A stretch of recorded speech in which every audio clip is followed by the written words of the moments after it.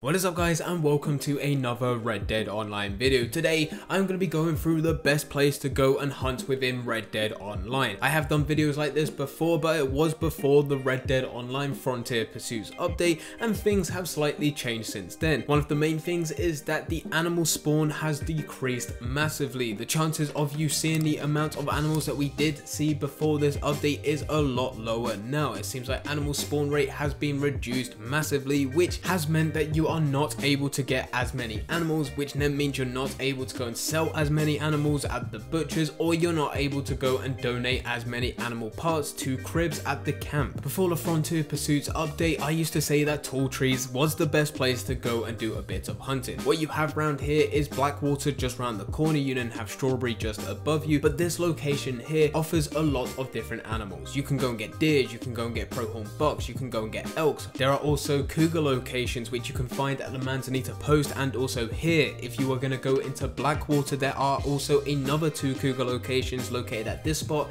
and also there is another one at this spot. At the Manzanita Post, if the cougar doesn't spawn in, what you have a chance of getting is a bear instead. Sometimes I have actually had one of each. Also, whilst riding through tall trees, you can just come across a massive grizzly bear anyway spawns anywhere within this location, as well as you can find yourself a number of smaller baby bears, which are a lot easier to go and take down, go and skin, and go and take to the butchers. This is still by far one of the best locations to go off and do a bit of hunting within Red Dead Online, but the problem is these animals have been reduced massively, which means the chances of going to get the cougars as often as what we once did has been lowered massively. So what I now do is actually increase the distance that I go and do a bit of hunting. So I will carry on going to this location and hunting within tall trees, but I have now extended it all the way up to Big Valley above Strawberry. So pretty much when I go hunting, these are the areas that I look at. It means when I go and start off in Blackwater, I go and head all the way over to Tall Trees, I go to the cougar locations to see if any spawn in, I try and see if I can find any bears, I will then kill and hunt down every single animal that I come across, make sure I skin it, make sure I go and store it on the back of my horse, any animal parts that fit into my satchel, I'll store them into my satchel,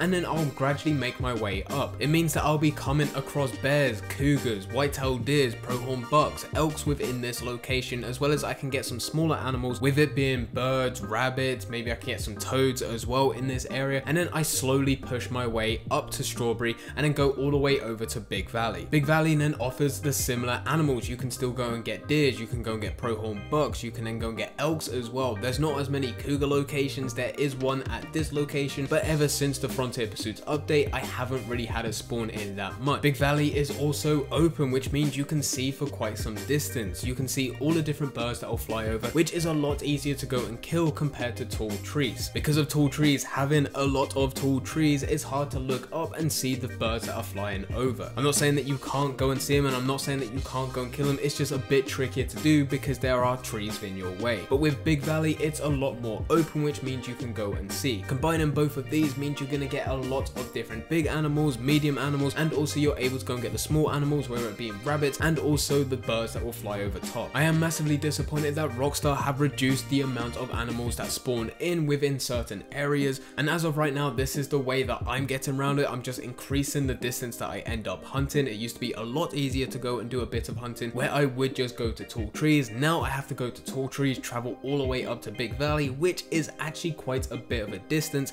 especially when you are taking your time trying to kill every single animal you come across. And also if you are going to take the hunting wagon down that route it is very difficult to go and take that wagon off-road one thing that I am able to do in some lobbies that does make my life a bit easier sometimes and the reason I say sometimes is because it comes down to camp spawns and whether or not you can actually set up your camp. I know there are a lot of problems right now with the camp where if you go and ask to set up your camp what it ends up doing is just flickering on your screen and the camp actually just never ever gets set up. It's very very irritating if that happens but if you are able to go and set up your camp and carry on bringing it down and setting it up what you can do is go and set up a camp within Big Valley and then as you are going through Blackwater all the way through Tall Trees and make your way up to Big Valley you can then donate all your animal parts to the camp to Cripps for him to then go and make goods out of it. After you've done that and you want to go and make your way back down through this route where you are going through Big Valley and then all the way down to Tall Trees and then ending up in Blackwater what you can then actually do is go and change your camp location to go and set it up in the Great Plains. That way every time you go up or down